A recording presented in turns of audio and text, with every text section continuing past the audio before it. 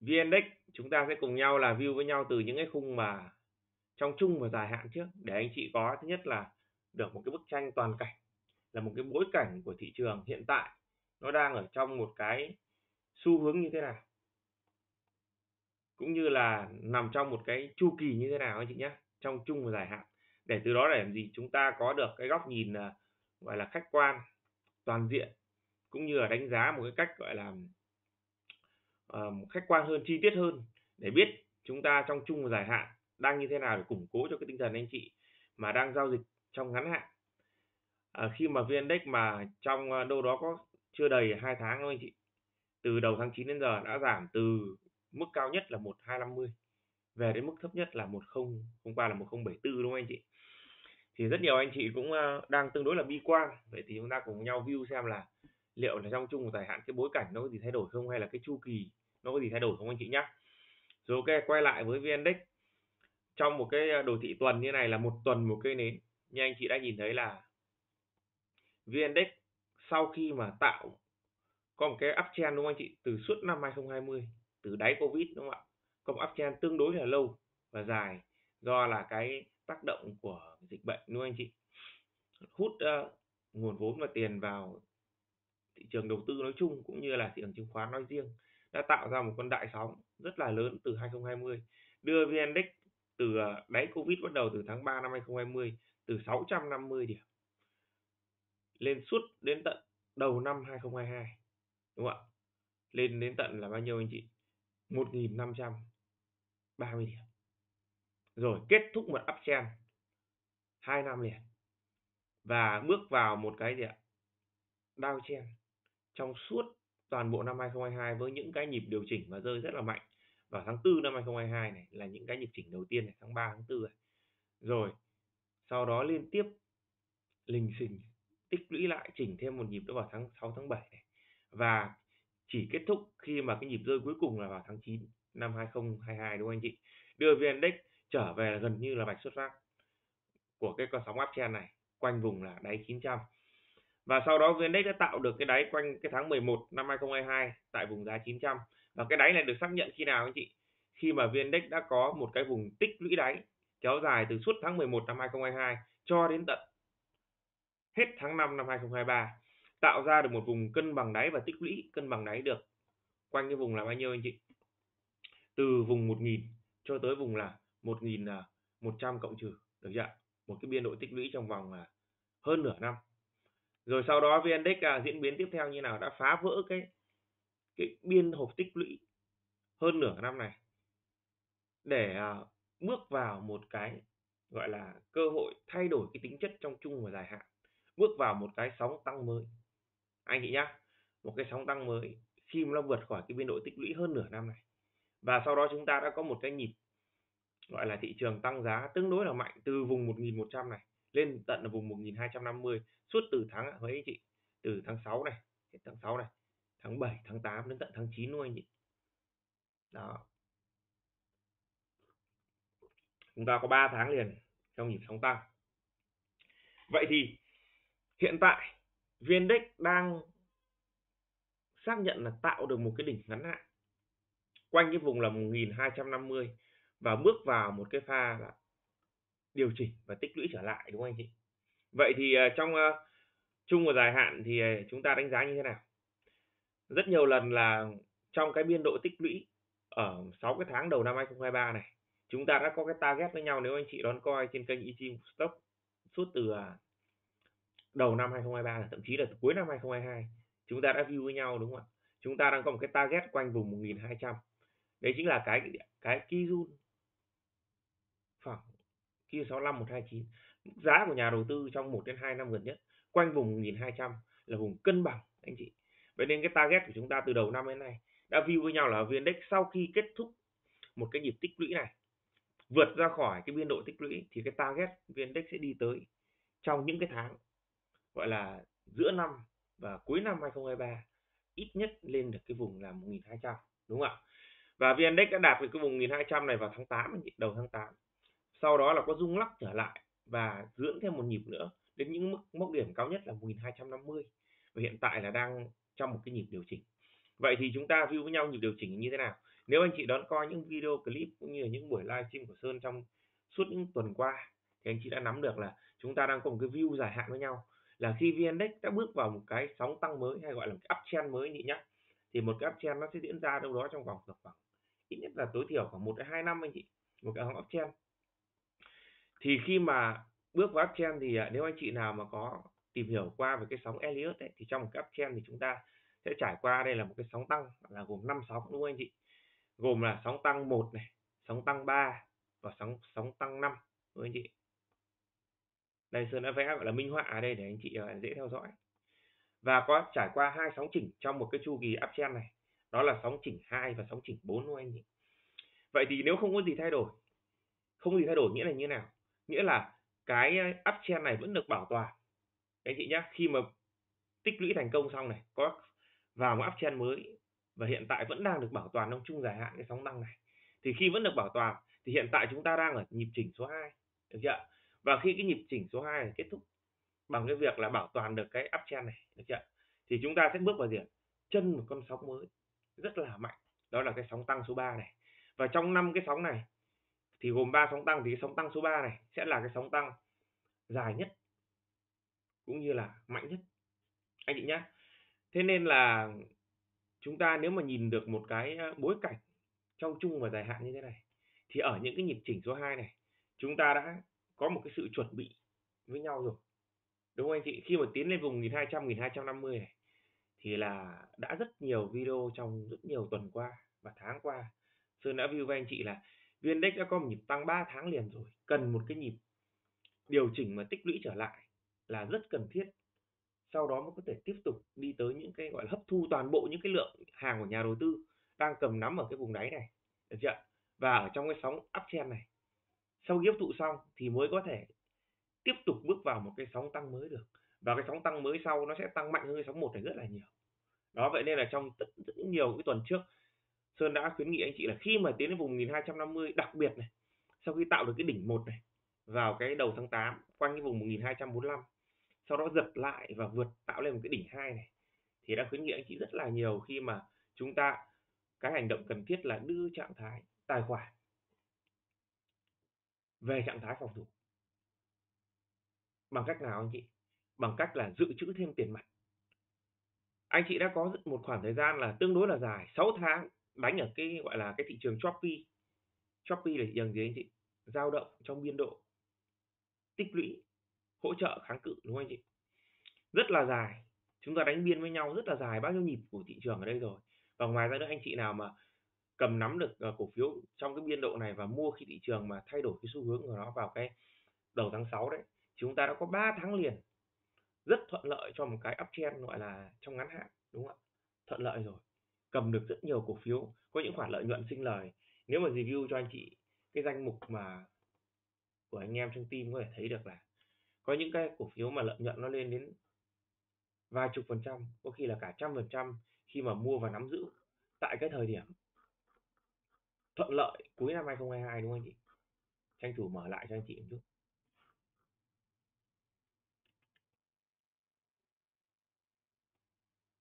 Đây anh chị nhé đây rất nhiều cổ phiếu đó anh chị. Nhóm đầu tư công này chứng khoán này dầu khí này thép ngân hàng bất động sản bán lẻ thủy sản. Danh mục có rất nhiều cổ phiếu này cầm và nắm giữ từ suốt đầu năm 2023 với khoản lợi nhuận đâu anh chị 35% này 100 hơn 100% này hoặc rất nhiều cổ phiếu chứng khoán này đã bắt tận những vùng đáy từ uh, cuối năm 2022 hoặc đầu năm 2023 anh chị nhé đã bán 1 phần 2 đã bán 1 phần 2 đã bán 1 phần 2 đây là cái zoom danh mục cổ phiếu chung dài hạn mà team đang nắm giữ và quản lý cho anh chị khách hàng. Đối với anh chị khách hàng nào mà chúng ta không có quá nhiều thời gian bám bảng điện hoặc là bận những công việc chính, thì anh chị có thể là trải nghiệm cái zoom chung dài hạn của team, thì team sẽ có những cái tín hiệu để cho anh chị mua những cổ phiếu chung dài hạn nắm giữ được là trong cái chu kỳ dài là 6 tháng đến một năm trở lên trở lên anh chị nhé. Nhưng vẫn tranh thủ là có thể lướt lá một phần hai lượng hàng tối ưu nhưng làm sao đó khi mà trong một cái uptrend chúng ta vẫn giữ được đủ lượng hàng cho đến khi mà kết thúc và gãy kênh trong chung dài hạn. Đấy, vậy thì cái trạng thái phòng thủ chúng ta như thế nào? Trạng thái phòng thủ sẽ bán một phần hai này chị đã bán một phần hai, đã bán một phần hai, đã bán một phần hai. Đấy, là đã bán một phần hai cái lượng hàng chúng ta đang nắm giữ với nhau ở cái vùng rất thuận lợi như thế này. Anh chị nhé khi mà vn index tiến lên những cái vùng gọi là kháng cự cản trong trung hạn quanh vùng 1200 đến 1250 đã tranh thủ bán 1 phần 2 và giữ lại sức mua 1 phần 2 tiền mặt thì đấy gọi là trạng thái phòng thủ anh chị nhé để làm gì anh chị? Để đợi những cái nhịp điều chỉnh tích lũy trở lại xảy ra ở trong cái sóng hai này. Và khi cái sóng hai điều chỉnh kết thúc, thì chúng ta sẽ tiếp tục lấy cái lượng tiền mặt đã phòng thủ đó ở cổ phiếu anh chị nhé quay trở lại, cover, mua trở lại. Khi quanh cái vùng đáy số 2 này, cũng là cái gì? Chân cái con sóng lớn số 3 anh chị nhá. Thì đấy chính là cái gọi là cái cái mà hành hành động mà Sơn đã đưa ra cho anh chị trong uh, rất nhiều tuần qua rồi đúng không ạ? Đưa về trạng thái phòng thủ. Rồi ok để tiện thời có lại. Cũng phải nhắc lại là ngoài ra nữa anh chị cũng tranh thủ là những cái cái lượng hàng mà trong những tuần trước này nhé lỡ mà mua quanh cái vùng 1200 vùng 1250 này khi mà anh chị có thể là theo dõi kênh hoặc là tham gia Ờ, team quản lý danh mục, gọi là, hơi muộn. Chúng ta chưa mua ở những vùng thuận lợi. Mà chúng ta có lỡ mà mua lướt sóng thì có du lướt sóng cho anh chị. Mua ở những cái vùng này mà lỡ có, anh chị nào mà có, đang bị kẹt hàng quanh vùng 1200 1250 thì trong những cái video trước Sơn cũng chia sẻ với anh chị là chúng ta nên cơ cấu lại toàn bộ cái lượng hàng chúng ta nắm giữ ở vùng không thuận lợi. Để làm gì? Giữ lấy cái sức mua tiền mặt. Tránh cái trường hợp là vn index tạo cái đỉnh ngắn hạn và rơi vào cái nhịp điều chỉnh thì anh chị sẽ bị thiệt hại nằm đỉnh trong ngắn hạn, không đáng có. Thứ nhất là sẽ thua lỗ là một và thứ hai là khi mà vn index rơi vào nhịp chỉnh xong thì chúng ta sẽ không còn sức mua, không còn tiền mặt để mua đấy thì chúng ta sẽ lỡ đi một cái nhịp sóng tăng rất là dài trong cái chung dài hạn như này, chúng ta đã vẽ với nhau. Đúng không anh chị? Đó. Đấy anh chị nhá. Vậy nên là cho đến thời điểm hiện tại đánh giá là khi viên index đã về cái vùng mà chúng ta có thể kỳ vọng là một cái vùng cân bằng của nó, đó là quanh cái vùng là 1080 là cái vùng gì ạ? Trung bình giá của nhà đầu tư trong khoảng một năm gần nhất là quanh cái Kijun 65 này anh chị nhé không phải đây là lần đầu tiên chúng ta gọi là đặt cái mốc này vào view với nhau, mà trong rất nhiều tuần và video tổng kết thị trường và trong các buổi live stream chúng ta đã đón chờ với nhau cái vùng này rồi, đúng không ạ? Và trong cái phiên thứ sáu tuần vừa rồi thì là kết thúc một cây nến tuần, đã chạm về cái vùng cân bằng đó. Anh chị nhé và đã có những cái phản ứng đầu tiên khi mà về những cái vùng hỗ trợ mạnh lần đầu tiên, đó là rút chân trở lại. Rồi, vậy thế nên là chúng ta vẫn hoàn toàn có thể kỳ vọng với nhau là cái sóng tăng uptrend mới này vẫn được bảo toàn bằng cái cách là vn index trong những tuần tiếp theo, anh chị nhé tiếp tục tích lũy trong cái biên độ quanh cái vùng 1080 này. Thành công, tích lũy thành công anh chị nhá. Trong cái biên độ 1080 cộng trừ này, nó có thể lắc thêm một nhịp nữa, được chưa? Về vùng 050 060 hả? Sau đó rút chân rất nhanh giống như cái phiên ngày hôm thứ sáu đấy anh chị. Đã có lúc nó về là 1074 vậy mà đóng cửa là 1108 anh chị. Vậy là bao nhiêu bao nhiêu biên độ chênh lệch bao nhiêu phiên à bao nhiêu điểm?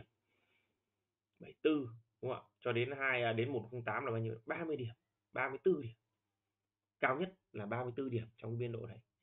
Đấy, thì vậy nên là chúng ta kỳ vọng với nhau nó có tích lũy quanh biên độ 1080 này, có thể nhúng thêm một nhịp sâu hơn, hoặc là có thể tích lũy được trên cái 1080 này. Miễn làm sao đó, vẫn giữ được trong những tuần tới, vẫn giữ được trong kênh chung và dài hạn, thì cái uptrend này vẫn được bảo toàn và anh chị lúc đấy có thể xem xét là thăm dò dần từng phần. Khi những cái cổ phiếu của chúng ta về những cái vùng gọi là hỗ trợ và cân bằng trong chung và dài hạn trên khung đồ thị tuần anh chị nhé có thể là quanh Kijun 29 hoặc Kijun 65 vì là anh chị thấy có rất nhiều cổ phiếu mặc dù là Viên Index đã, đã gọi là điều chỉnh về vùng cân bằng về test lại cái nền tích lũy này nhưng rất nhiều cổ phiếu không quay lại test nền tích lũy như Viên Index. Giả dụ như PVS PVS vẫn đang tích lũy trên vùng đỉnh đúng không ạ? Còn Viên Index đã về test nền tích lũy tít ở dưới này rồi. Giả dụ vậy. STB chẳng hạn đấy, vẫn đang ở trên tích lũy trên vùng đỉnh. Chưa về vùng tích lũy, khi VN Index, tích lũy từ đầu năm đến giờ, đúng không ạ? BSR đấy, vùng tích lũy đầu năm đây, đúng không ạ? VN Index đang quay lại test cái vùng tích lũy này đây quanh Kijun đây 65 này anh chị. BR vẫn đang tích lũy quanh vùng đỉnh trên này. Đấy, vậy thì trong những nhịp rung lắc tiếp theo, nếu mà những cổ phiếu này có về những cái vùng cân bằng, test lại cái biên độ tích lũy trong cái khung mà chung và dài hạn trên đồ thị tuần thì anh chị à có thể xem xét, cân nhắc tương tự như VN Index. Được chưa lần đầu tiên về những cái vùng cân nhắc, về những cái vùng gọi là hỗ trợ trong trung dài hạn thì là những cái điểm mua thích hợp và thuận lợi để cho chúng ta có thể thăm dò dần. Và khi chúng ta thăm dò xong, VN Index à, là thị trường chung đúng không? thể hiện thị trường chung và cân bằng lại được quanh cái vùng là 108 80 này. Tích lũy thành công, tiếp tục bước vào một cái sóng tăng tiếp theo, xác nhận những cái đáy. Được chưa đáy sau cao hơn đáy trước và xác nhận tích lũy đáy thành công. Quay lại pha bật tăng thì chúng ta có thể gia tăng phun vị thế phun từ tiền mặt thành phun cổ phiếu. Thậm chí xác nhận đáy xong rồi vào sóng tăng mới, anh chị nào mà, nhà đầu tư mà sử dụng margin có thể sử dụng margin để tối ưu cái lợi nhuận của chúng ta rồi. Và ngoài ra nữa là chúng ta có cơ hội bắt được cái cổ phiếu ở chân con sóng lớn, có thể cầm thuận lợi. Gần như là nếu mà cái kịch bản ấy xảy ra thì sẽ là cái điểm mua thuận lợi nhất cho anh chị có thể nắm giữ được trong vòng 1 đến 2 năm tiếp theo. Ăn chọn cái con sóng uptrend này của viên đất trong một hai năm tới với những cái tỷ suất sinh lời rất là kỳ vọng với nhau, có thể lên đến vài chục phần trăm cho đến là một trăm phần trăm, hai trăm phần trăm x2 x3 trong vài năm tới là có cơ sở anh chị nhá. Đấy, vậy nên là anh chị nào mà chúng ta chưa biết chọn cổ phiếu nào hoặc là vùng mua nào cân nhắc nắm giữ được, hoặc là mua được điểm nào thăm dò, thì anh chị có thể là trải nghiệm bằng cách là liên hệ trực tiếp với Sơn Sơn sẽ lọc cổ phiếu hàng tuần cho anh chị. Cũng như là trải nghiệm là làm khách hàng dưới sự quản lý danh mục của team Ichimoku anh chị nhé thì là có hơn 20 anh em sẽ quản lý danh mục và lọc những tín hiệu cổ phiếu cho anh chị, để anh chị không bỏ lỡ những cái tín hiệu. Và ngoài ra nữa là anh chị không có thời gian bám bảng nhiều, quan sát bảng điện hành xử kịp thời. Khi vinh đã có khi là về cái vùng mua chỉ trong phiên thôi, sau rút chân như phiên hôm thứ sáu ngày hôm qua anh chị.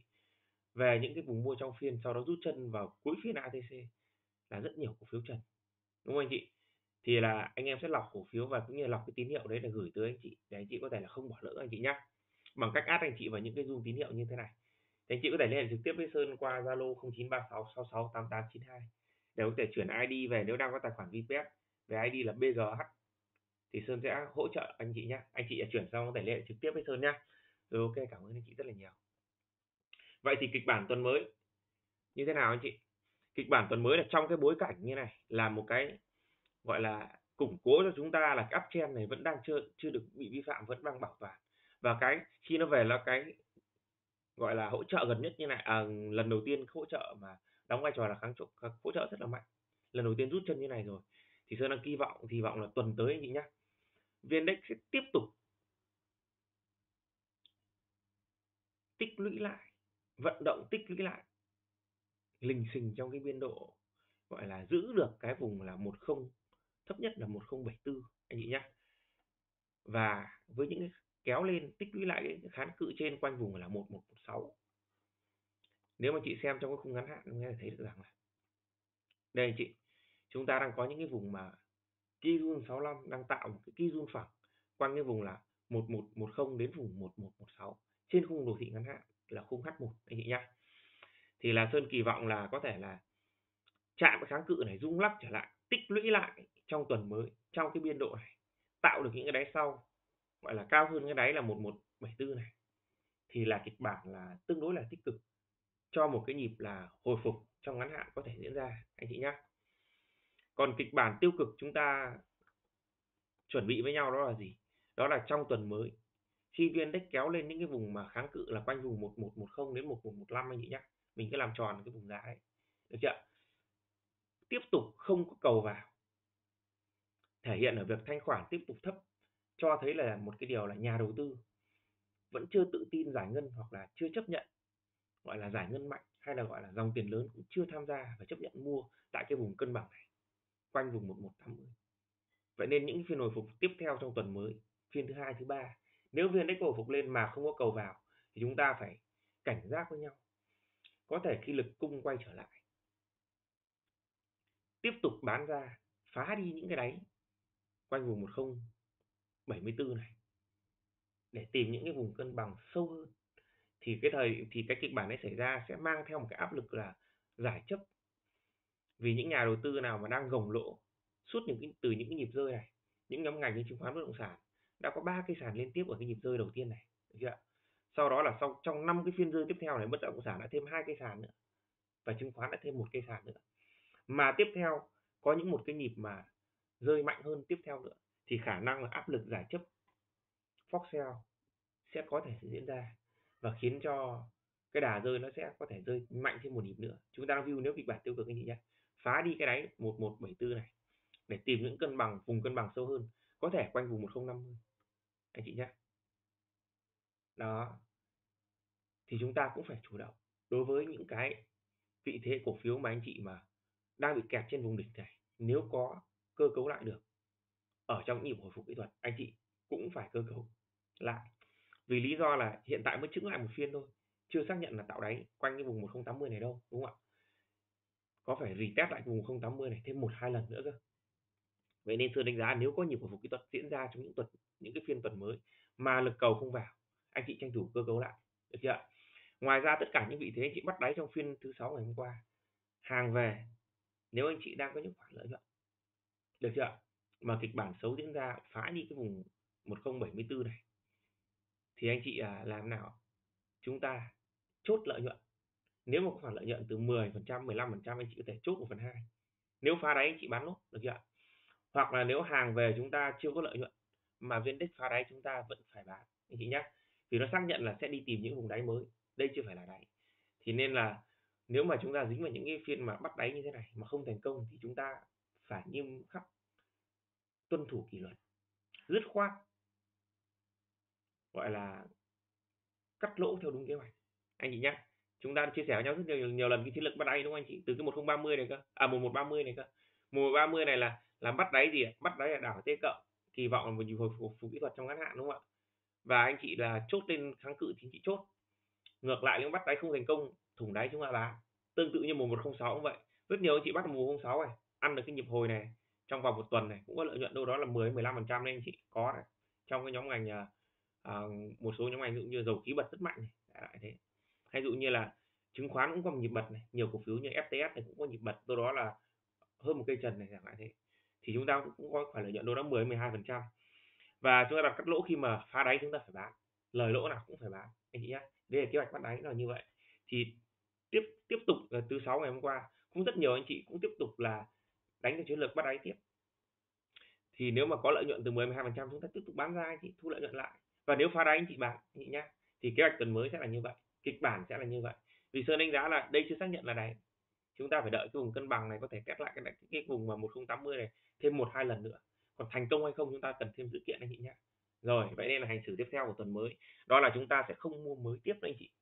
Thay vào đó chúng ta sẽ theo dõi và quan sát xem là cái lực cung đã vào chưa để bảo toàn cho cái nhịp hồi phục kỹ thuật này có được tiếp diễn hay không. Nếu mà lực cung chấp nhận vào rồi chúng ta sẽ có một cái nhịp hồi phục kỹ thuật gọi là sẽ tương đối dài và mạnh sau khi viên đích có ba nhịp rơi này một này hai ba có thể là sẽ đạt được gọi là một cái đáy đầu tiên ở đây. À, xin lỗi chị là một cái vùng cân bằng đầu tiên cho cái cơ hội cân bằng đầu tiên. Có thể test được những cái nhịp mà như này chị cao hơn đấy có thể nhịp hồi phục tiếp tục kéo lên cái vùng là 1150 thậm chí là 1160 170 anh chị nhá. Đấy. Nhưng chúng ta cần thêm dữ kiện. Xem cái đáy này đã tạo đáy sau cao hơn không? Chưa được thì giả dụ thủng này thì chúng ta lại phải đi tìm đáy mới, anh chị nhá. Thế nên chủ động và quan sát thôi. Sang tuần mua là là anh chị sẽ mua chậm hơn à, những nhà đầu tư mà bắt đáy bất động sản và chứng khoán là khoảng ở đâu đó là một cây trần này chậm như thế, vừa chậm t, vừa chậm giá thì không thuận lợi để chúng ta mua đuổi đâu. Chúng ta mua đỏ thì sẽ hợp lý rất là nhiều. Và chúng ta bán là kháng cự, anh chị nhé bây giờ chúng ta sẽ view với nhau là các cổ phiếu của các nhóm ngành đi qua một lượt. Xem kháng cự nó ở đâu, đã chạm chưa? Để xem là sang tuần còn điểm mua không, anh chị nhé chứ không chúng ta cứ, gọi là, thấy nó nó tím một cây, sợ, gọi là ừ, rất nhiều anh chị là bị mất hàng. Tuần trước có thể là bán đấy nhá, trong tuần trước anh chị. Có nhiều nhà đầu tư bán ở cái cây ngày thứ năm. Hoặc là bán ở đầu phiên ngày thứ sáu, đúng không ạ? Mất hàng. Bán xong thì là cổ phiếu quay trở lại trần. Các cổ phiếu chứng khoán bất động sản. Vậy thì mất hàng rồi chúng ta làm gì? Thì sơn chia sẻ với anh chị cụ thể luôn. Nếu anh chị có lỡ bán được phiên ngày thứ năm và phiên ngày thứ sáu, được chưa thì trong tuần mới, anh chị không nên, gọi là, có cái tâm lý và cái cảm giác là tiếc nuối mà vội mua lại nhỉ nhé. Vì lý do là tương đối là nhiều cổ phiếu sau cái phiên trần hôm thứ sáu. Thì trong tuần mới, nếu có hồi phục tiếp, bắt đầu chạm vào những vùng kháng cự và vùng cản trong ngắn hạn là những cái vùng mà trước đó đóng vai trò là hỗ trợ tương tự viên đấy là 1106 này, trước nó vai hỗ trợ. Sau khi đã thủng đi, thì hiện tại bây giờ quay lại, đang đóng trò là kháng cự, thì quay lại test những kháng cự đấy, khả năng rất cao sẽ có những cái rung lắc trở lại. Và sẽ chưa thu hút được những cái dòng tiền mới tham gia mạnh mẽ khi quay lại kháng cự. Chỉ là khi nào thu hút được khi là test kháng cự thành công, quay lại không thủng đáy, bật tăng tiếp, vượt kháng cự. Tiếp tục nhịp hồi phục thì lúc đấy dòng tiền mới mới vào chị. Thế nên là chúng ta mua, nếu mà mua đuổi ra xanh trong đầu tuần thì sẽ không thuận lợi thay vào đó chúng ta nên quan sát nếu mà lực cầu quay trở lại hoặc retest thành công vùng đáy chúng ta sẽ tham gia những cái cây gì ạ? Kéo ngược trở lại. Test thành công bật tăng thì chúng ta mới tham gia chị nhé. Rồi ok. Vậy thì chúng ta sẽ cùng đi đến à, các nhóm ngành cụ thể nhé. Anh chị có bất kỳ câu hỏi nào về các cổ phiếu các mã cổ phiếu có thể là để lại à, trong phần bình luận nhé. Thì uh, Sơn sẽ chia sẻ với anh chị uh, cái vị thế anh chị đang nắm giữ thì hành xử như nào cho phù hợp anh chị nhé.